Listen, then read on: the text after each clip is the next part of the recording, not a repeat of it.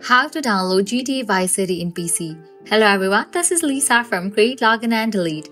Now let's get started. Launch your preferred browser. At the top, you're to see the search box. Over here, type in rockstargames.com and search for it. With that, you'll be directed to the official website of it. Now you have to search for the game Vice City. So go ahead and type in Vice City and search for it. With that, game will appear. Now go ahead and click on the game. Now click on this option of Buy Now. You will be directed to the login page. Now provide the credentials of your account and login. In the case you haven't created your account yet, you can do that as well.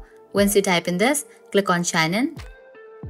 You will be directed to this page. Now here you have to select your payment method. Go ahead and select it and then provide the details of your card.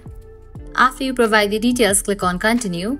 Then you can head back to the old tab, click on this R icon, click on the Home option, now I have to download this launcher, so click on the option of Get Launcher.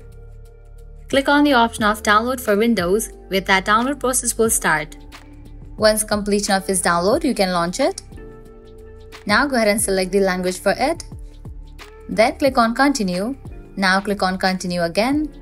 Now go through the terms and conditions, check in for this option and click on Continue.